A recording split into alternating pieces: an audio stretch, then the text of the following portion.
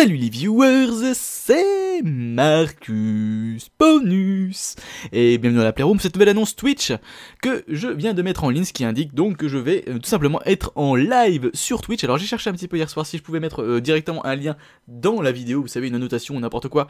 Twitch malheureusement n'est pas euh, partenaire de YouTube, donc du coup bah, vu que YouTube a mis son, système de streaming en fonctionnement, il n'y a aucun moyen de vous renvoyer en dehors des liens dans la description de l'épisode, enfin de la vidéo en tout cas.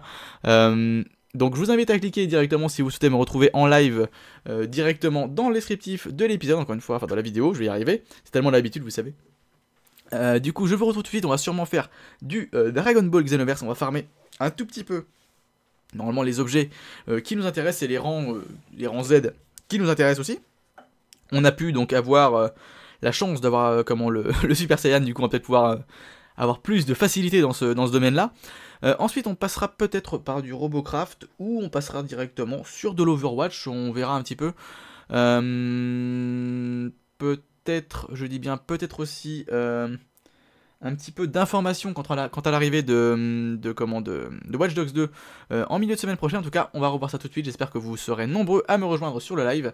C'était Marcus Bonus dans la Playroom. A tout de suite en live sur Twitch, sur donc twitch.tv slash Marcus Bonus. A tout de suite.